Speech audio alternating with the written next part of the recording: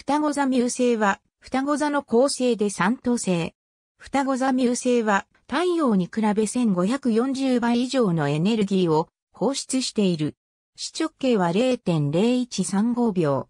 ミュウ星は地球から見た場合、他の恒星よりも5倍以上の速度で移動しているように見える。地球から見て2分離れて位置する旧等級の星は近くに見えているだけであり、実際にはミュウ星とは関連性はないと推測されている。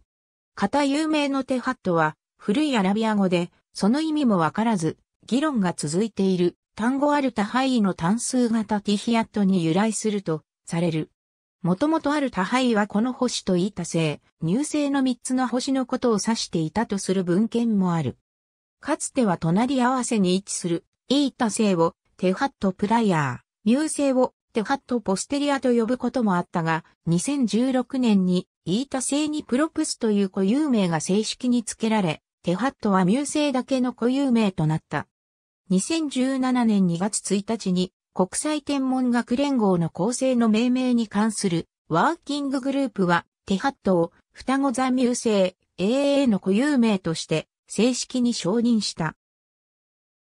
ありがとうございます。